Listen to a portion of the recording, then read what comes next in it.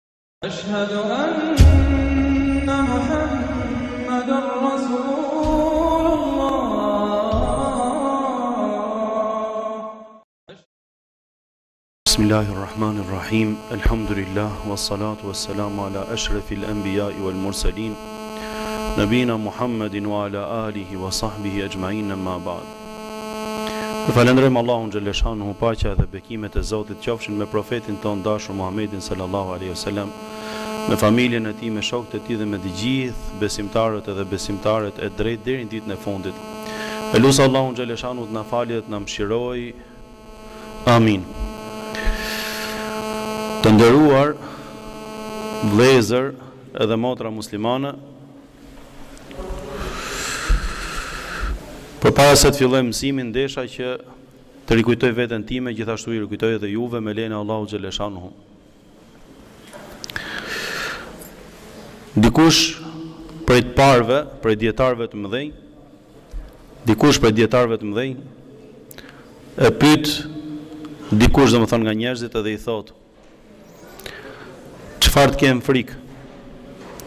I thotë, mos ki frikë, thotë, përveçse mëkatin tënd, përveçse të keqen tënde. Sepse mëkati është ai i cili të shkatërron.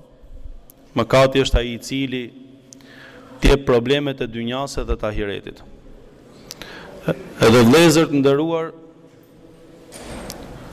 duhet ta dimë të gjithë se Një pjesë, mos them të gjitha, po një pjesë e atyre sprovave që na ndodhin neve në këtë jetë, një pjesë e atyre dështimeve, e disfatave, një pjesë e katastrofave, një pjesë e dënimeve që vijnë prej Allahu xhelleshanuhu febima kesebet eidikum wa yafu an kathir. Me të vërtetë janë si shkak i asaj që fitojnë duart tona, i asaj që veprojmë neve pra njerëzit, si shkak i mëkateve tona, e megjithatë Allahu xhelleshanuhu fal shumë.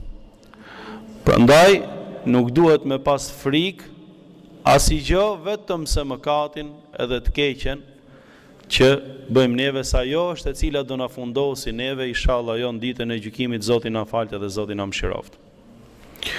Njerëzit janë të vdekur, janë të hutuar. Njerëzit janë të vdekur, janë të hutuar. E në momentin që vdesin, ato ngjallen edhe jetojnë. Në momentin që vdesin, ato zgjohen. Sa janë në këtë dynja, neve jemi në gjumë, jemi si të vdekur. Shumë pak e kujtojmë Allahun, shumë pak punojmë për ahiretin, Shumë pak kemi frikë nga gjynahi, shumë pak bëjmë prej veprave që duhet bindje ndaj Allahut xhelleshanuhu, shumë pak bëjmë prej gjërave që do na ngrejnë edhe do na japin dorë në ditën e gjykimit, e në momentin se kjo vjen si pasojë e sigurisë së dobët që kemi ke Allahu, vjen si pasojë e besimi i dobët që kemi në ahiretin, vjen si pasojë e shpresës të pakët që kemi te Allahu xheleshanuhu, herë herë na rreh mendja shkem edhe te e keqja, herë herë na rreh mendja shkem edhe ke e shtremta, shkem edhe ke harami, herë herë pra, e pse? Sepse besimi nuk është aty ku duhet edhe shpresa në ditën e gjykimit edhe në ditën që të dalim para Allahu xheleshanu është e dobët. E në momentin që do vdesësh aty fillon i shef gjonat konkretisht si janë. Aty e shef që paska ahiret, aty e shef edhe thu me veten tate, ah, sikur të kisha punu më, më shumë, sikur të bosha më mirë, sikur mos të bosha të kqija, sikur mos të bosha hasëm me njerëz, me musliman, sikur të bosha vetëm mirë ndaj tjerëve. Aty fillon kthjellohesh, ama aty nuk bën më dobi sepse libri i veprave është mbyllë. E lus Allahun të na falë dhe të na mshirojë, Me të vërtetë, Zoti është Falës i Madh dhe Mëshirues i të gjithë mëshiruesve. Sot me lejen e Allahut xheleshanu kemi përgatitë diçka për atë që kemi thënë për punën e namazit, për punën e namazit. Jemi akoma te kushtet e namazit. Edhe te gjërat që janë të detyruara pra, janë të detyruara përpara se të hyjmë tek forma e namazit fiks nga tekbiri deri tek selami. Sepse neve thamë që do marrim një tablo ose një panoramë të gjerë, domethënë për gjithçka që ka lidhje me namazin dhe na duhet neve në jetën tonë, sepse ky namaz është shtyllë e fesë, ky namaz është nga veprat më të rëndësishme në fe, siç e kemi përmendur edhe në mësimet e kalume. E në momentin që ai është shumë i rëndësishëm edhe Allahu xheleshanu e shef shumë prej teje dhe pret prej teje namazin, atëherë këtë namaz e kemi hak, Edhe kemi obligim ta falim në formën më të plotë edhe në formën më të mirë. Është detyrë dhe është domosdoshmëri për çdo musliman që ka mundësi në namaz farz po flasim, të qëndrojë në këmbë gjatë faljes namazit. Nëse dikush thotë, Unë dua të falem, po do falem ulur. Atëherë i themi që, në namazet farz, o vëlla im, nëse ke mundësi që të qëndrosh në këmbë, qëndrimi në këmbë me mendimin unanim të të gjithë dijetarëve të Islamit, është detyrim, pra është obligim, dhe nuk mundesh ti që të thuash unë dua me u fal ulë, sepse kështu e llogjikoj ose kështu e mendoj. Ndryshe është për namazin synet ose për namazin nafile ne e kemi cekur pak edhe edhe në mësimet e kalume. Në momentin që du me fillu namazin jemi në këmbë. E do qëndrosh jo vetëm do qëndrosh në këmbë, porse do qëndrosh edhe drejt. Siç qëndrohet edhe në ruku edhe në sexhde drejt drejtohet kurrizi edhe të gjithë gjymtyrët e trupit pra bin qetësi ama rri drejt dikush rri shtremët dikush nuk drejtohet tamam siç duhet ndërkohë që kur rrimë përpara njerëzve me rëndësi neve mundohemi të drejtohemi siç siç kemi mundësi më mirë edhe më bukur rregullohemi bohemi kur qëndrojmë para Allahut xheleshanu nuk i marrim masat edhe nuk qëndrojmë përveç atyre që i ka mëshiru Allahu xheleshanu. Vllai im do qëndrojmë drejt përpara Allahu xheleshanu. Profeti sallallahu alaihi wasallam vepronte me ajetin e Allahu xheleshanu që thotë: "Wa qumu lillahi qanitin" dhe qëndroni në këmbë përpara Allahut me përkushtim, bëhet fjalë gjatë faljes së namazit me lejen e Allahu xheleshanu. Ndërsa, neve thamë në udhëtim, Profeti sallallahu alejhi ve sellem mundet që namazet nafile i falte edhe mbi kafshën e tij, pra mbi deve, duke hec, merrte drejtimin e kiblës fillim dhe pastaj e vazhdonte namazin ulur nga ta çonte karvani ose deveja. Madje, në momentet e frikës, në momentet e frikës, në momente emergjence, në momente që njeriu nuk është i sigurt, siç mund të jetë pra, në rresht, atje në front, po siç mund të jetë edhe në momente të tjera që kërcënohet jeta e tij ose familja e tij ose pasuria e tij, në momente frike shumë të mëdhaja, Profeti sallallahu alejhi ve selem i mësoi njerëzit edhe besimtarët që mund të falen ose në këmbë ose mund të falen edhe mbi kafshë. Këto gjëra nuk duhet t'i harrojmë, duhet t'i mbajmë mend dhe duhet t'i dimë mirë, sepse Allahu xheleshanuhu thotë, Kuranin famëlartë, Hafidhu alas-salawati was-salatil-wusta wa qumu lillahi qanitin, thotë, Kushtojini rëndësi namazit, të gjithë namazeve në përgjithësi, në veçanti namazit të mesëm, Kush është namazi i mesëm? Kush është namazi i mesëm? Namazi i iqindisë, namazi i asrit. Namazi i mesëm është namazi i iqindisë. Ku e mësum neve që namazi i iqindisë është namazi i mesëm? Vetëm nga radha, a ka naj argument fetar për këtë, apo s'ka argument fetar? Në luftën e hendekut, çështja ka qenë shumë kritike.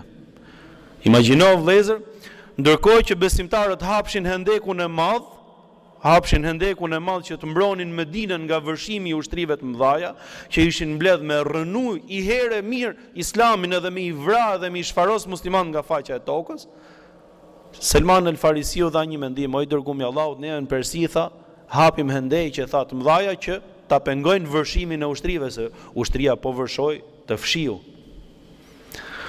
Edhe fillojnë rreth Medinës ta hapin një endek të madh edhe punojnë natë e ditë, punojnë natë e ditë, punojnë natë e ditë edhe me përkushtim Profeti alejhi salatu ves selam punonte më shumë se të gjithë tjerët i dërgumi i Allahut sallallahu alejhi ve selam. E aty Allahu xheleshanu u shfaq mrekullitë e shumta edhe jep argumentet e mdhaja, qoftë ajo historia me ushqimin që ishin të gjithë banorët, gjithë ato punëtorët e endekut që vjen dikush I kishte thonë nuses vet, a kemi diçka në shpi neve? I thotë, po thotë, kemi thotë, diçka, një, një, një çik mish me bo, me bo gjellë. Atëherë thotë, po shkoj ta thërras profetin, sallallahu alejhi ve selem për drekë, thotë se është lodh i dërgumi Allahut. Thotë, mirë, thotë, o burrë, thotë, shko thërrite. Mirë se t'na vijë i dërgumi i Allahut sallallahu alejhi ve selam. Dhe i vjen në vesh ngaqë ishin gjithë besimtarët tu punu i vjen turp nuk mundej. Ai me shpirt po të kishte mundësi të gjithë i ftonte. I thotë o i dërgumi i Allahut i thotë me qetësi. Je i ftum thotë për drekë ke shpia ime. E profeti sallallahu alejhi ve selam sa e nigjoi ftesën Tha, O vëllezër, tha, gjithë ça jeni duke punu këtu, katërqind, pesëqind veta. Jeni të gjithë ftum, thotë, te shpia e filanit, thotë, për drekë, thotë, na ka nderu ai, thotë, me ftesën e vet. Hajdeni, thotë, leni veglat, thotë, edhe hajdeni shkojmë, thotë, për drekë. Ky u tremb. Për ça u tremb? Iu ndrydh zemra se do vishin të gjithë për drekë. Jo o vëllezër jo. U tremb se mase më keqkuptoi Profeti sallallahu alejhi ve sellem dhe unë kam për të dalë keq, kam për ta qit keq Profetin sallallahu alejhi ve sellem. Edhe shkoi meiherë në shpi te nusja i friksum, tha subhan Allah, tha, këshu këshu ndodhi o bashkëshortja ime, i thot, në qoftë se e ka bo profeti sallallahu alaihi sallam këtë punë, ai e di më së miri se ça vepro.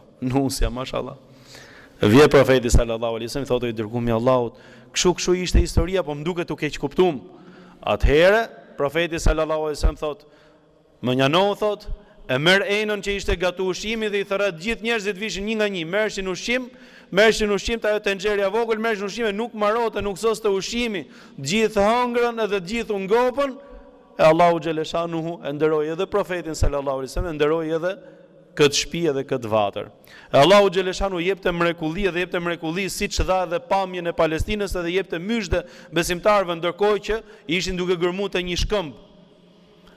Në këtë moment, aq të ngarkum ishin besimtarët edhe aq të shpejtum domethonë ishin edhe pa vëmendje, aq hutum ishin, saqë Dikush prej besimtarëve masi kishte ra dielli i thotë Profetit alejhi salatu ue selam o i dërgumi i Allahut m'duket se kemi harru me fal ikindinë Subhanallah Gjithë besimtarët gjithë muslimanët aq të angazhum imagjino ça frike ishte saqë kishin harru me fal ikindinë derisa kishte ra dielli e midis tyre ishin edhe të mëdhejt e sahabëve ishte edhe Profeti alejhi salatu ue selam që kishte harru Ça ndodhi? Thotë Aishja radijallahu anha tregon Aliu, tregon shumë prej sahabëve tregojnë historinë. Thotë tha profeti sallallahu alaihi wasallam, "Mena'una min as-salati al-wusta qatalahumullah." I vraft Allahu thotë, "Na hutun thotë nga namazi i mesëm." Pra nga iqindia që kishte ngel pa u fal. Edhe të gjithë besimtarët e morën si argument që namazi i mesëm është i qartë, është namazi i ikindisë. Majeni edhe këtë argument inshallah.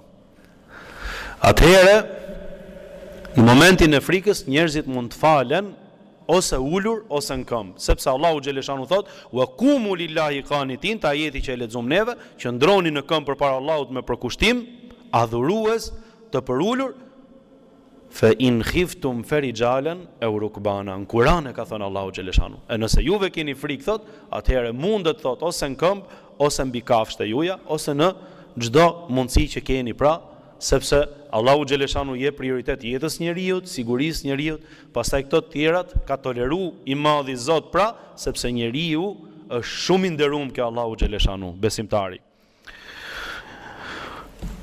Nuk mundet njeriu që të rri ulur në namazin farz përveçse në momentin kur është sëmurë që nuk ka mundësi pra ose s'ka fuqi.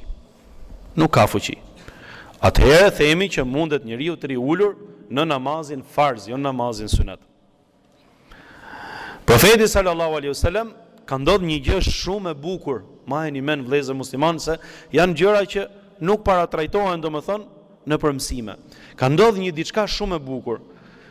Ka qenë një herë smur dhe ka dalë me u fal. Nuk kishte fuqi profeti sallallahu alaihi wasallam që të qëndronte në këmbë, ishte smur. Dhe falet imam përpara njerëzve dhe ulet. Ulet në namaz, nuk qëndron në këmbë. Pra në vend se të rri në komb në komb në momentin që rrihet në komb, që kënohet El Fatihaja, qëndron ulur. Atëherë njerëzit përpara pas tij, pas profetit sallallahu alaihi wasallam qëndronin në këmbë. E i dërgumi i Allahut i bën me shenjë që uluni. Uluni. Kur mbaron namazi, janë fal gjithë ul pra, siç u fal imami, kur mbaron namazi, Atëherë, Profeti sallallahu alejhi ve sellem thotë, për pak thotë ishit duke vepru thotë, siç kanë pas vepru thotë romakët thotë ose persët thotë. I pari i tyre rrite thotë ulur përpara tyre dhe ato i qëndroshin në këmbë thotë në shenjë madhërimi edhe adhurimi. Kjo nuk lejohet i thotë, kjo ishte vëllezër muslimanë në fazën e parë. Ndërsa argumenti i dytë që e fshiu këtë, argumenti i dytë që e fshiu këtë dhe ngeli gjykimi pastaj ashtu, ishte momenti i sëmundjes së fundit të profetit alayhi salatu wassalam përpara se të ndronte jetë i dërgumi i Allahut, ka dalë që me u fal, pra ditët e fundit të jetës doli që me u fal përpara njerëzve Dhe u fal ulur, ndërkohë që të gjithë njerëzit e tjerë u falën në këmbë. Dikush thotë, po i pari, themi që hadithi i dytë i saktë e fshin të parin që është i saktë dhe mbetet në mbetet në fuqi gjykimi i dytë. Në qoftë se imami do të falet ulur sepse nuk ka mundësi, atëherë xhemati do të vazhdojë në këmbë. Në qoftë se njeriu është smur dhe nuk ka mundësi që të qëndrojë në këmbë, atëherë mund të ulet dhe ta kryejë namazin ulur. Por, gjithmonë sipas argumenteve fetare, në shumë hadithe thuhet që mirë është që të rrijë në tokë nëse ka mundësi. Nëse s'ka mundësi në tokë, atëherë le të mbështetet qoftë edhe në krah, qoftë edhe si ta ketë mundësinë, domethënë që ta fali namazin me lejen e Allahu xhelleshanuhu. Kemi një çështje tjetër e cila na ndodh shpesh. Në momentin që njeriu është në udhëtim, për shembull mund të jetë mund të jetë në udhëtim në avion ose mund të jetë në autobuz. Më pyetën mua disa vëllezër përpara disa ditësh, domethënë ra biseda dhe po diskutonim. Si i bëhet momentin që je në avion me u fal? Ndërkohë që ti nuk mund t'i thush atij t'avionit, ndaloje çik avionin sa të falem unë, se është duke dalë koha namazit. Atëherë themi, nëse ke mundësi vëllai im, që të marrësh leje që të falesh në këmbë, po ta dhanë lejen mirë. Ama nëse nuk ke mundësi, bëhet fjalë për namazin farz, nëse nuk ke mundësi që ti të marrësh leje Ose që të të japin leje, atëherë do të falësh ulur nëse kërcënohet që të dali koha e namazit edhe ti të ngelesh pra pa namaz. Ose do ta llogarisësh nëse është yle e iqindi, e fal ose në kohën e yles, ose në kohën e iqindisë nëse udhëtimi është midis këtyre të dyjave dhe të le kohë që ta falësh kur të zbresësh në aeroport ose kur je në aeroport përpara se me u nis, nëse ka hyrë koha e yles, ose akshami me jacin. Ama nëse është për shembull, ndodh që është koha e sabahut, ajo, sabahu e ka kohën, Të ngushtë, e ka që në kohën që fillon të dali dielli, pra në agim, e deri kur lind dielli, mund të jetë një orë e gjysmë, dhe ti mund të jesh në udhëtim, si do t'ia bësh? Atëherë, gjeje drejtimin e kiblës aty në avion ku je, gjeje drejtimin e kiblës aty në avion ku je, edhe qëndro ulur, nëse nuk ke mundësi që të falësh në këmbë, edhe fale namazin, pra, ulur, me lejen e Allahut xheleshanu, namazi yt është i rregullt. Ka një çështje tjetër që neve na ndodh, Prap, na ndodh në xhami, na ndodh në shpi. Nëse, nëse njeriu ka fëmijë të vogël me vete, si i bëhet pra gjatë kohës që fal namazin? E mira është që fëmijët të evitohen nga xhamia. Fëmijët e vegjël që nuk kuptojnë ose nuk kontrollohen të evitohen. Nëse ndodh që e merr nuk është haram, vetëm se çështja është se shqetëson besimtarët dhe aty pastaj ngarkohesh ti me përgjegjësi sepse shqetëson tjerët edhe mundet të të kalojë edhe në edhe në përgjegjësi pra që mund të të ngarkojë edhe me mëkat sepse tjetri shpërqendrohet sepse tjetri humb vëmendjen në namaz humb komplet kuptimin e namazit e tjerë e tjerë me radhë pa u zgjat shumë ça veprohet atëherë mundet që njeriu gjatë kohës që fal namazin fëmijën ta mbajë në krah Kjo nuk e prish fare qëndrimin në këmbë. Kur bie në ruku, mundet ta uli në tokë. Dhe kur ngrehet nga rukuja prapë e merr në krah. Mundet kur bie në sexhde e ul në tokë, prapë kur ngrehet pastaj e merr prapë në krah. Po mirë u bo gallat kjo punë kështu tashi duke fal namazin e duke majt fëmijën. Jo. Këtë gjë e ka pas bo edhe Profeti sal-Lallahu alejhi ve sellem edhe këtë gjë na ka mësu që ta bëjmë edhe neve. Neve nuk po e bëjmë përditë, por një rast që ndodh me fëmijën, qoftë me gratë ose me nënat që kanë fëmijë të vegjël, qoftë me baballarët, kjo nuk ka asnjë problem vëlla im që ta kesh të qartë edhe ta dish me lejen e Allahut xheleshanu. Në namazet nafile kur njeriu falet ulur, Profeti alejhi salatu ves selam thotë që mundet të falet ulur njeriu në nafile, porse Shpërblimi i atij që falet ulur është përgjysëm me atë që falet në këmbë. Domthon merr shpërblim, por e ka përgjysëm me atë që falet në këmbë. Nëse i smuri ka mundësi që të qëndrojë në këmbë, po do të falet ulur sepse e ka shumë më mirë për shembull. Vllai im është përgjysëm, atëherë mundohu që të falesh në këmbë, sepse kjo është më e mira edhe më e plota për ty me lejen e Allahut xhaleshanu. Kemi edhe një çështje tjetër që ta mbyllim me lejen e Allahut xheleshanu sot pra deri këtu dhe të lejmë për radhën tjetër prap vazhdimin. Namazi me këpucë ose me shapka. A lejohet që të falesh me këpucë ose me shapka? Dikush për shembull po të shofi ka edhe disa që janë besimtarë qoftë të vjetër qoftë të ri, nga mosdija ose nga ai respekti i madh që kanë për fenë ose për namazin ose për Allahun, Kur e shofin dikë që falet me këpucë për shembull ose me shapka i duket si mosrespektim i namazit. Jo vlla im, nuk ka lidhje. Si nuk ka lidhje? Si mër hoxhë, dilet para Allahut me këpucë me u fal? Po dilet o vlla im para Allahut xheleshanu me këpucë sepse para Allahut xheleshanu me këpucë ka dalë edhe profeti sallallahu alejhi ue selem, ka dalë edhe me shapka, ka dalë edhe me sandale. Atëherë ku e gjejmë neve këtë? E para njëherë që ta dini juve vëllezër musliman është se xhamia përpara dhe xhamia e profetit alejhi salatu ue selam nuk ka qenë me këto kondita dhe me këto kushte që kemi neve sot me tapete mundësisht tapeti të jetë tridhjetë mijë lekë metri katror apo dyzet mijë lekë metri katror edhe zhytet këmba mirë aty e të rrish ngrohët nuk ka qenë kështu vëllezër namazi u falte në xhami dhe xhamia ka qenë maksimumi me rërë rërë e shkrifët pra e zgjedhur që Mos të vristë e koma. Është një hadith i bukur që ka lidhje me këtë çështje, që thot Profeti sallallahu alaihi wasallam, ai i cili thot gjatë hutbes së xhumas, gjatë hutbes së xhumas, ai i cili thot e humbet vëmendjen, pra shkëputet nga imami, e humb shpërblimin e xhumas. E dimë ne shpërblimin e madh kur do flasim për namazin e xhumas, do e përmenim edhe më gjatë inshallah. Por çfarë ndodh? Thotë, Wa men massa al-hasa faqad lagha, Dhe ai i cili, thotë, lu thot me atë guralecin, thotë, Pra xhamia përpara ka qenë me dhe, ka pas guraleca. Dikush imami duke mbajt hutbe thotë, Merret me guraleca. A shef ndonjë guralec sot në xhami këtu? S'ka guraleca. Përpara ka pas guraleca, s'ka qenë me tapeta. Dhe njerëzit u falnin, u falnin edhe me këpucë, edhe pa këpucë. E profeti alejhi salatu e selam ja ka leju umetit vet kët, mbasi edhe vet ka pas qen fal pra i tillë me këpucë siç tregohet në hadith vërtet kana yaqifu hafiyan ahyanan wa mutanailan ahyanan nganjëherë falej zbathur e nganjëherë falej me shapka ose me sandale ja lejoi edhe umetit vet Dhe tha, Idha salla ahadukum falyelbis na'alejhi au liyakhlahuma baina rijlejhi wa la yu'dhi bihima ghayrahu.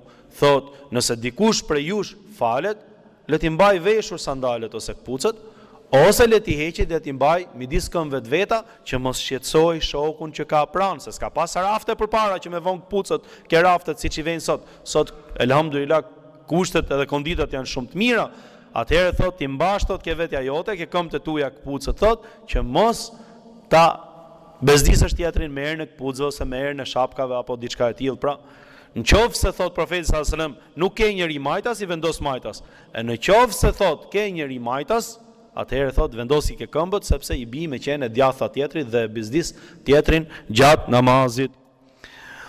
Por ka edhe një arsye tjetër që Profeti sallallahu alejhi wasallam neve na e ka leju që me u fal me këpucë. Ne s'po themi me u fal me këpucë në xhami që është me tapet. Ne e themi kur je rrugës, kur je në plazh, kur je në fshat, kur je në mal, kur je, domethënë, përjashta ta themi neve. Nuk është e detyrume, po nuk është e ndalume. Gjithsecili mund të bëj pra, çfarë të doj në këtë prizëm ose në këtë aspekt. Thotë Profeti sallallahu alejhi ve sellem thotë, Khaliful jehude fe innehum la yusallune fi ni'alihim wa la khifafihim. Thotë mos i përngjasoni thotë çifutëve, se ato thotë nuk falen kurrë thotë me shapka ose me këpucë. Pra neve thotë nuk jemi si ato. Ato e kanë rregull të premë që me shapka ose me këpucë mos me u fal. Ne s'e kemi kështu thotë profeti sallallahu alejhi ve sellem nuk jemi si ata. Ka ndodhë dhe një histori e bukur që ta mbyllim me lejen e Allahut xheleshanuhu sot. Në kohën e profetit alayhi salatu wassalam ka qenë duke u fal i dërgumi i Allahut në namaz dhe njerëzit ishin në xhemat pas tij duke u fal. Ne edhe po mësojmë namazin tash. Edhe gjithë këto hadithe të bukura që i kanë tregu sahabët e Profetit alejhi selam neve kuptojmë ligjet, gjykimet, kuptojmë rregullat e namazit edhe i zbërthejmë siç i kanë zbërthy dijetarët e dijshëm të Islamit. Atëherë ça ndodhi? Gjatë namazit duke u fal Profeti alejhi salatu ves selam hoqi këpucët në namaz. I kishte vesh, pra, u paska falë edhe vetë Profeti sallallahu alejhi ve sellem me këpucë. Hoqi këpucët në namaz, ku në xhami? Hoqi këpucët në namaz. Edhe i mënjanoi nga krahu i majtë. Atëherë njerëzit e panë Profetin sallallahu alejhi ve sellem duke heqë këpucët në namaz, menduan se është diçka prej namazit. Edhe të gjithë safi mrapa hoqën këpucët në namaz edhe i vendu edhe i vendosën anash. Subhanallah. Ça thotë profeti sallallahu alajhi wasallam? A e mani men hadithin, një hadith që e kemi përmend që në fillim fare? Sallu kema re'ejtumuni usal-li. Faluni si që më shikoni mu duke u fal. Faluni siç më shikoni mu pra siç shef profetin sallallahu alajhi wasallam duke u fal. Ka ndodhë për shembull rast tjetër kur ka qenë në namazin e eklipsit, i ka shfaq Allahu xheleshanu profetit sallallahu alajhi wasallam i ka shfaq, ka pa xhenetin, xhehenemin. Ka bërë një hap para, sepse thot profeti sallallahu alajhi wasallam ma hapi Allahu xheleshanu pamjen edhe e shifsha sikur me qenë aty në xhenet edhe në xhehenem, domethënë sikur me i pa nga afër fare. Ka bën një hap para, të gjithë besimtarët një hap para. Zgjati dorën, gjithë zgjatën dorën, subhanallah e panë, o i dërgumi i Allahut, çfarë ndodhi, thot, më hapi Allahu xheleshanu pamjen, thot, pash xhenetin, pash, thot, bistaqet e rrushit në xhenet, subhanallah. E thot e zgjata dorën, thot, me e kap, thot, aq reale ishte pamja, saqë po ta kisha marrë një, thot, ma kishte mundësu Allahu xheleshanu, ta kisha marrë një, thot, edhe t'jua sillja, thot, në këtë botë, në këtë dimension, Nga një dimension tjetër, në këtë dimension, t'ia sjell dhe thotë, do hani thotë prej tij e nuk do marote kurrë, la maktuatin ve la memnua, sepse frytet e xhenetit, as nuk shterojnë, edhe as nuk janë të dalume për askënd, prej banorve të xhenetit. Ha ça dush dhe nuk shterojnë kurrë. Ha ti për shembull kujto se maroi, fap kthehet prap, zëvendësohet prap, domethonë, Nga fillimi, subhanallah, begati e Allahut. E sahabët veproshin siç vepronte Profeti s.a.s. pa e ditë, pa e ditë se ça asht duke bo, derisa ia sqarote mrapa. Pse? Sepse doshin me u fal siç falet Profeti sallallahu alaihi wasallam dhe ne këtë dum që të falemi siç falet Profeti sallallahu alaihi wasallam. Ka ndodh në rast tjetër ka harru Profeti sallallahu alaihi wasallam namazin e yles, në ves me fal katër se ai ishte njeri. Siç thotë në një hadith që është edhe tek Muatta e Imam Malikut, thotë innema unessa Liuallim. Thotë mu thotë më bën Allahu të harroj që të mësoni juve. Atëherë nga katër namaz, nga katër rekat e boni namazin dy rekat. Të gjithë e falën dy rekat dhanë selam. Bile një pjesë atyne njerëz që dalin shpejt dolën nga xhamia dhe ikën. Derisa çohet një sahabi Dhul Jedejn dhe i thotë ja Resul Allah O i dërgumi i Allahut, a ka ndodhë diçka në namaz, thotë? U ndryshu namazi? Pra ne e falëm siç e fale ti, po u ndryshu namazi? I thotë, pse thotë, ça ka ndodh? Jo, thotë, asigjo s'ka namazi, thotë, as shkurtim, as zgjatim. Pra, Profeti s.a.s. me të veten e kishte falë në rregull. E kishte bo Allahu me harru, që të mësojnë muslimanët. Thotë, fale dy rekate o i dërgumi i Allahut. A, thotë, atëherë, thotë, paskemi harru. U çu, fali edhe dy rekate tjera, domethonë siç janë hadithet e sehvi sexhdes që mësojnë se si bohet sexhdja në rast harrese. Nejse, atëherë profeti s.a.s. hoqi sandalet, domethonë edhe i vuri anash. Mbasi mbaroi namazi, i thonë I thonë, domethënë i thotë sahabëve, Profeti s.a.s. i thotë, Pse ju pashë thotë që edhe juve thotë mënjanut këpucët ose sandalet namaz? I thonë, o i dërgumi i Allahut, e veprove ti e veprum edhe neve. Thotë, jo, thotë, mua thotë më erdhi Xhibrili anifen, e tani Xhibril anifen, sapo më erdhi Xhibrili në atë moment dhe më tha, më njoftoi se në sandalet e mia, pra në të mbathurat e mia në këmbë, kishte thotë Në disa transmetime thuhet kadhiran, pra një ndytësi, ose habethen në një transmetim tjetër, ose nexhisen, ose edha, pra ka pas thotë diçka të ndytë dhe më lajmëroi që ta hiqja. A kemi thonë neve që është kusht që rrobat e gjithë trupit që ke veshur, momentin që falet namazi duhet të jenë të pastërta. Po mirë, atëherë ça kuptojmë ne se është hadith i madh ky? Ça kuptojmë neve? Ndodh për shembull që njeriu është bo pis, për shembull tek të mbathurat e tij se nuk ka turp në fe, ne po mësojmë fenë, po mësojmë namazin. Mundet për shembull pasi ka kry nevojat personale, qoftë nevojën e madhe, qoftë nevojën e vogël personale, mundet që tek të mbathurat e tij, te rrobat e tij të ketë mbetur diçka nga papastërtia dhe ai nuk e ka vënë re. e ka fal namazin, mbas namazit kur ka shku në tualet ose kur ka dalë për shembull prapë me krye nevojë fizike ka pa që o subhanallahu paskam qenë pis. Ç'a do bojmë në këtë rast? Do përsërisim namazin? Apo ç'a do bojmë? Atëherë themi vllai im hadithi është i qartë. Sikur të kishte qenë se për, se përsëritet namazi, profeti sallallahu alajhi wasallam një pjesë të namazit e kishte bo me shapka me ndytësi, pa e ditë. Pa e ditë, në momentin që u njoftu që është ndytësia në rrobat e tij, e hoqi atë pjesë rrobave që ishin këpucët edhe vazhdoi namazin aty ku e kishte. Nuk është, se po të ishte ashtu pastaj do i binte me prish namazin me fillu nga fillimi. Pra hadithi është i qartë. Ndryshon puna kur ti e di, për shembull që Në rrobat ka rënë pra diçka, një pikë, urinë ose diçka nga nevojat personale edhe thu hë se ta pastroj më vonë përpara se të falem dhe në momentin që ti falesh se harrove me e pastru kur kujtohesh a e ke ditë këtu ndryshon puna do pastrosh atë rrobën ose do heqësh rrobat fare Do falësh namazin prapë do e përsërisësh, do marrësh avdes, nëse s'ke avdes edhe do falësh namazin prapë nga fillimi, sepse ti këtu e dije, kurse në momentin që e more vesh, nga ai moment e tutje pra e vazhdon namazin me lejen e Allahut xhel, besoj se isha i qartë me lejen e Zotit. Për sot e mbyllim me kaq, se edhe duke zgjat shumë masi Nuk i majmë mend të gjitha, po, ishalla, këtu do jemi prapë edhe të enjten tjetër do mësojmë diçka diçka nga namazi i Profetit sallallahu alejhi ve sellem. Zoti ju nderoftë dhe Zoti ju shpërbleftë. Shumë shumë ju falënderoj për respektin. Zoti jua dhëntë mirësi edhe begati në shëndet, në familjet e juaja, në pasuritë e juaja. Zoti ishalla na bashkoftë në xhenet të gjithëve. Wa sallallahu ala seyyidina Muhammad. La ilaha illallah Muhammad rasulullah.